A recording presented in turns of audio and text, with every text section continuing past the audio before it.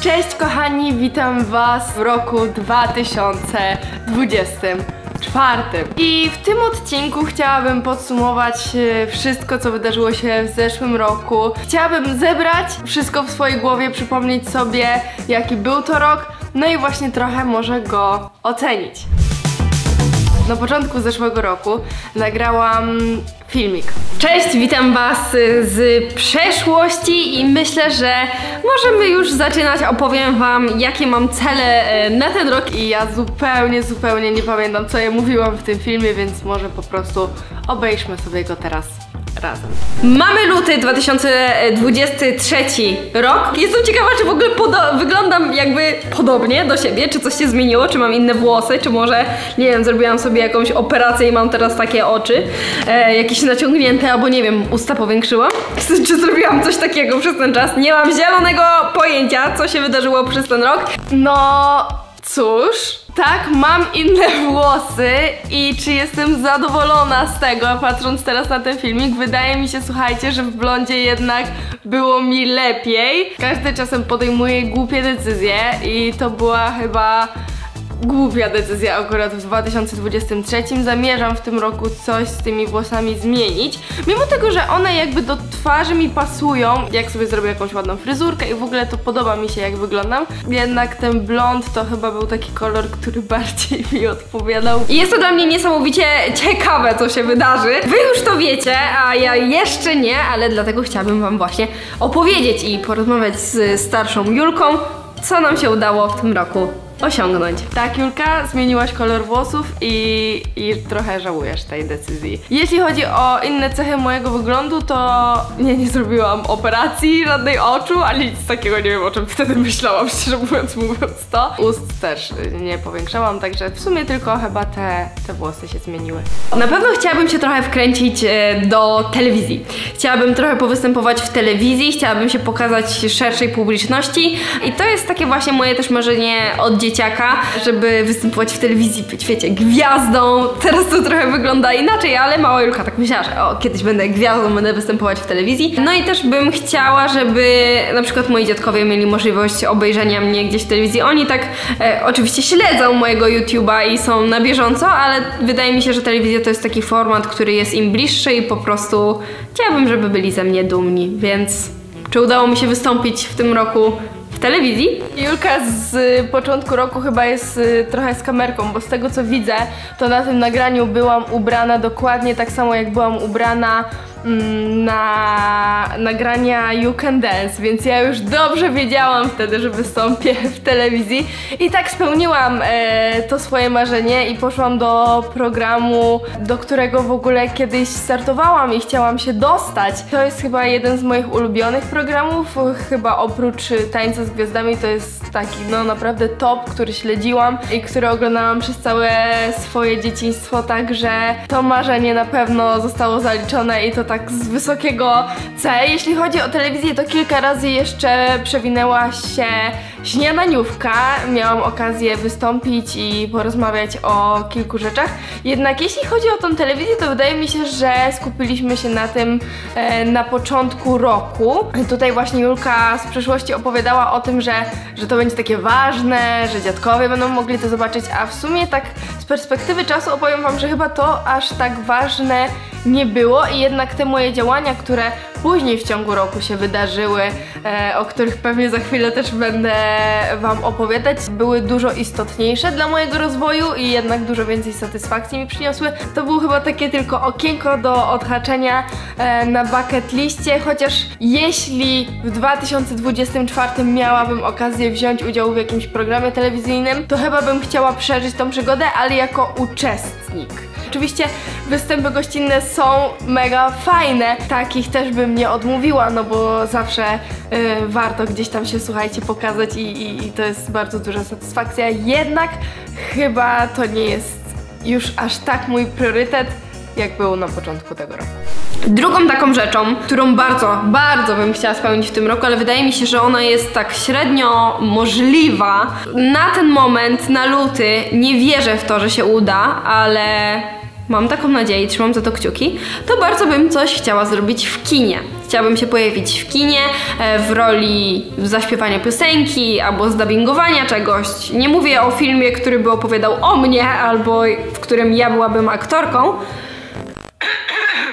A też byłam chora. ale jakąś właśnie rolę w kinie chciałabym odegrać, więc y, czy udało mi się wystąpić w kinie? W zeszłym roku nie udało się spełnić, słuchajcie, tego marzenia i mimo tego, że walczyliśmy naprawdę cały rok i nieraz byliśmy w ogóle bardzo blisko spełnienia tego, to niestety się nie udało. Byłam e, za to na kilku planach zdjęciowych, filmowych, filmów, które możecie zobaczyć w kinach, albo dopiero będziecie mogli zobaczyć w kinach. W jednym nawet wystąpiłam. Tylko pytanie, czy kiedykolwiek on zostanie opublikowany, bo trochę e, w zeszłym roku wydarzyło się sytuacji, które gdzieś tam mogą zblokować publikację tego filmu, który byłby swoją drogą e, o mnie, więc wystąpiłabym w ogóle w kinie gdzieś tam e, w filmie takim biograficznym, nie tylko o mnie, ale też o innych influencerach, ale to stoi pod znakiem zapytania. Natomiast zbliżyłam się bardzo z producentami e, jednej bajki i jeśli tylko powstanie druga część, to być może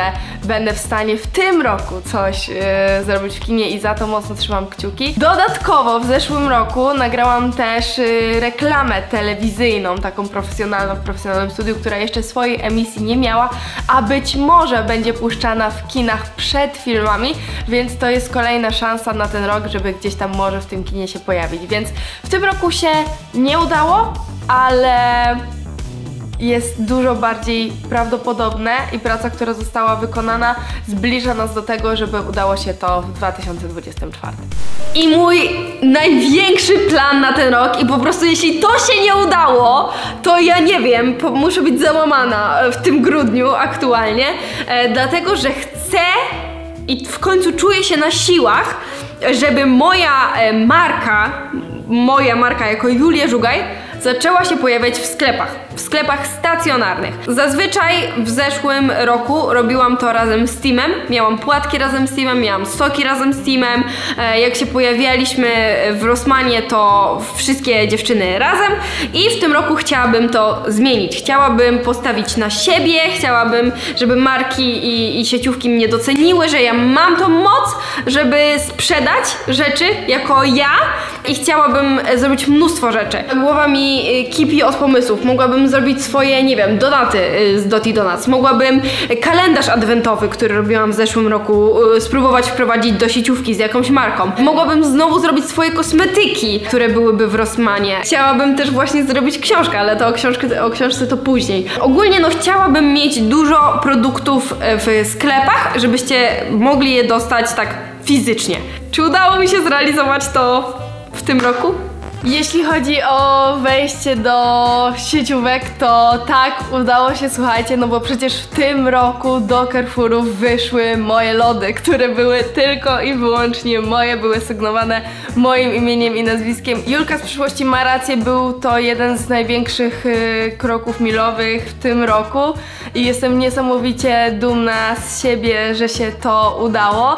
W tym roku były też duże plany na stworzenie kolekcji kosmetyków i już byliśmy nawet na zaawansowanych rozmowach, jednak w pewnym momencie coś się wydarzyło, o czym nie mogę wam powiedzieć i po prostu bardzo zawiodłam się na marce, z którą chciałam robić te kosmetyki i one nie powstały, koniec końców, więc nie miały możliwości w ogóle wejść do sieciówki. Dodatków i kalendarza adwentowego nie było, ale chyba nawet tego nie planowałam w ciągu roku.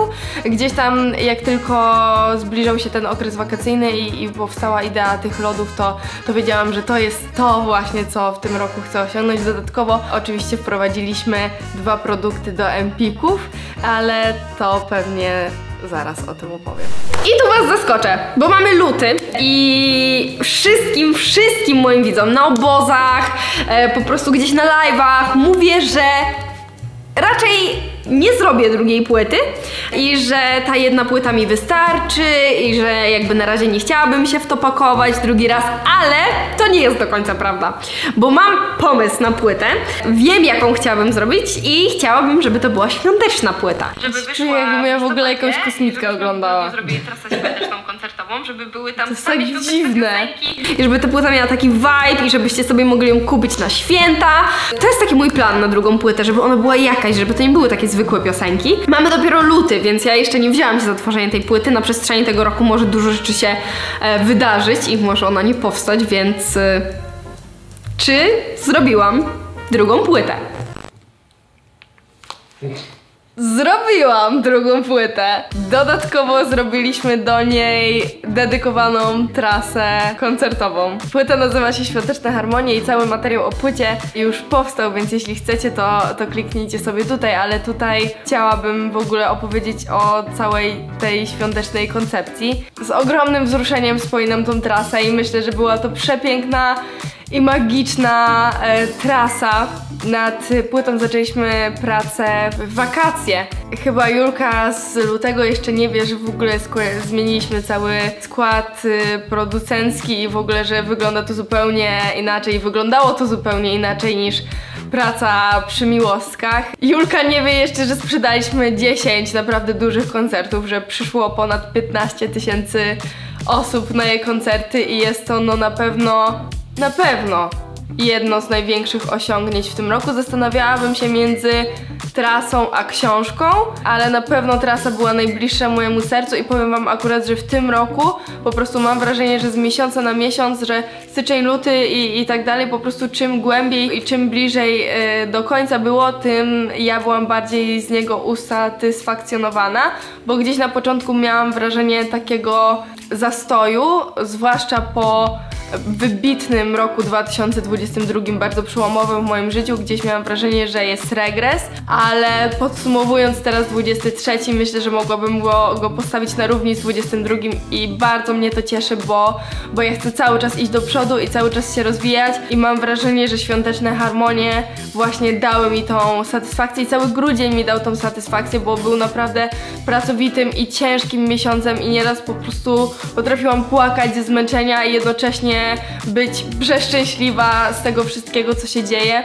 I w tym momencie chciałabym Wam chyba po prostu podziękować za to wsparcie w grudniu, za to, że ten grudzień spędziliśmy razem i mam nadzieję, że, że w tym roku też będę miała takie uczucie, że po prostu jestem bardzo szczęśliwa z powodu tego, co robię w swoim życiu.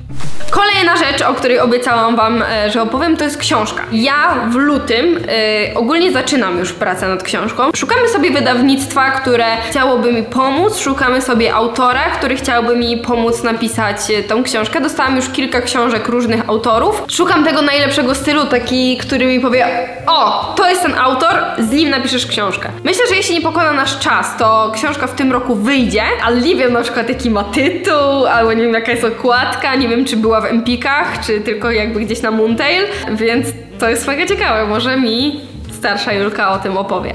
Tak miało być. Miało premierę 8 listopada i tak było w Empikach. Dodatkowo chyba do tej pory utrzymuje się w topce Empiku i tak jak wam przed chwilą mówiłam, myślę, że książka może się bić razem z trasą koncertową i płytą o top wydarzenie tego roku. No niesamowita to była przygoda i powiem wam, że mimo tego stresu, który w sobie miałam i mimo wkroczenia w środowisko, które tak naprawdę nie było moje, to jestem przeszczęśliwa, że się odważyłam i że postanowiłam to zrobić. Byliśmy na targach książki w Krakowie, byliśmy na oficjalnej premierze w Empiku, na live'ie, potem mieliśmy oficjalną premierę w Empiku w Arkadii, także niesamowite przeżycie. Myślę, że jeszcze akurat co do promocji książki, to w tym roku trochę rzeczy się wydarzy, bo wiem, że jeszcze jakieś targi książki tutaj w tym roku mają mieć miejsce i na które mamy już zaproszenie. Tam zobaczymy, jak terminowo się zgramy, na które będziemy mogli pojechać. Wiem też, że, że zaraz będzie dostępny merch y, związany z książką, bo wyprodukowaliśmy go już w zeszłym roku. Jednak postanowiliśmy mm, w tym okresie właśnie listopad-grudzień na jednak te świąteczne gadżety typu kokardka, scrunchie, e, typu świeczki, ale merch y, związany z książką jest gotowy,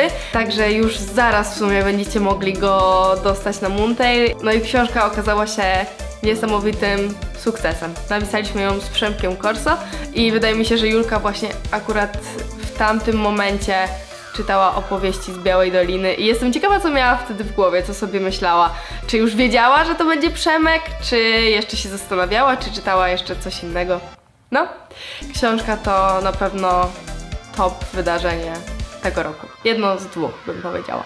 I już ostatnia rzecz, y, chociaż dla Was to pewnie nie jest ostatnia, tylko dla mnie, dla Julki z lutego to jest ostatnia rzecz, bo o reszcie rzeczy po prostu nie wiem, że się wydarzyły. Są to dla mnie jeszcze niespodzianki, które okażą się gdzieś tam w trakcie tego roku, ale dla mnie ostatnia rzecz, której jestem mega, mega ciekawa, to czy Moontail istnieje, czy rozwinęło się tak jak chciałam, żeby się rozwinęło, czy są na nim nowe produkty.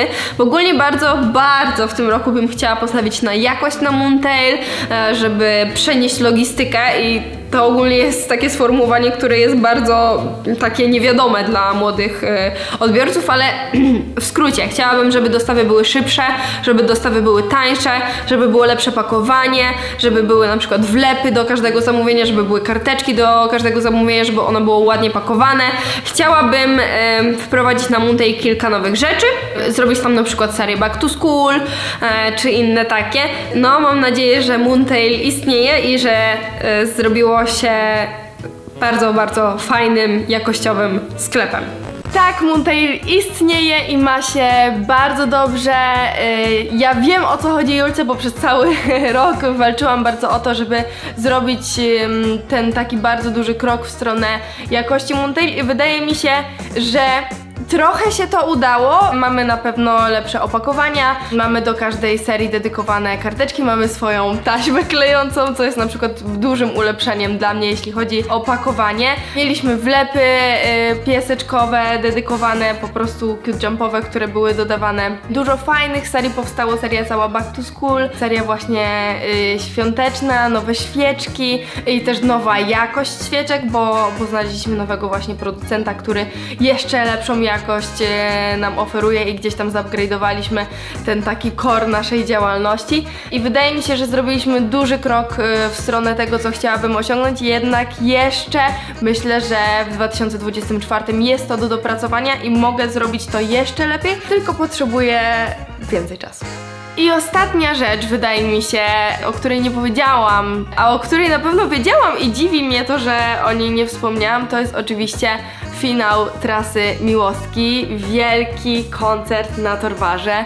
Moonfest. To był również y, bardzo duży krok milowy w tym roku, ponieważ y, wielkim, wielkim moim marzeniem było e, zagranie koncertu e, na Torwarze i z perspektywy czasu, szczerze Wam powiem, że jednak preferuję trasy koncertowe względem jednego dużego koncertu, dlatego, że to jest bardzo, bardzo duża presja zagrać taki pojedynczy koncert, żeby wszystko wyszło perfekcyjnie, e, żeby go całego zorganizować, żeby zbudować scenę. Jest to naprawdę stresujące przedsięwzięcie, do którego miesiącami trzeba się przygotowywać, żeby tak naprawdę postawić wszystko na jedną kartę i na jeden wieczór. Na trasie jednak jak coś nie wyjdzie, to ma się te kolejne miasta, e, żeby się poprawić i po prostu dostaje się powiedzmy takie kolejne szanse. Dlatego ja byłam bardzo, bardzo zestresowana e, Moonfestem i trochę mm, ten e, stres odjął mi tego szczęścia z tego koncertu, co nie zmienia faktu, że było to wielkie dla mnie osiągnięcie. Nie wiem, czy będzie Moonfest 2, nie wiem i tutaj płynnie przechodzimy do tego, co chciałabym zrobić w tym roku i szczerze Wam powiem, że nie wiem. I to jest pierwszy taki rok i trochę mnie to przeraża, ale trochę jednak daje mi spokoju. Jest to bardzo dziwne uczucie, że nie mam tak naprawdę nic zaplanowane na ten rok. Chciałabym po prostu zobaczyć, co się wydarzy. W zeszłym roku miałam bardzo konkretne plany, przez co narzuciłam sobie bardzo dużą presję, no bo jednak zrobienie własnego produktu do sieci handlowej, zrobienie ogromnego koncertu na Torwarze, napisanie książki, uczestnictwo gdzieś tam aktywnie e, na social mediach i do tego w telewizji, wszystko obec cała obecność na planach zdjęciowych, dodatkowo napisanie płyty i zrobienie do niej trasy koncertowej, to jest taka ilość rzeczy, która wydaje mi się nie do zrobienia w ogóle w jednym roku, a jednak to zrobiłam jednak to wszystko osiągnęłam i w tym roku chyba postawiłabym bardziej na siebie, jeśli chodzi o taką e, Julkę gdzieś tam e, prywatnie. Zaraz sobie nagram taki film, który zobaczycie w przyszłym roku, jakie mam plany i nie są to plany stricte biznesowe, a bardziej plany związane gdzieś tam z moim prywatnym życiem. Zobaczymy, czy się to uda, ale tego dowiemy się już za rok. A tymczasem chciałabym podziękować Wam bardzo za 2023 i życzę Wam szczęśliwego nowego roku. Buziaki!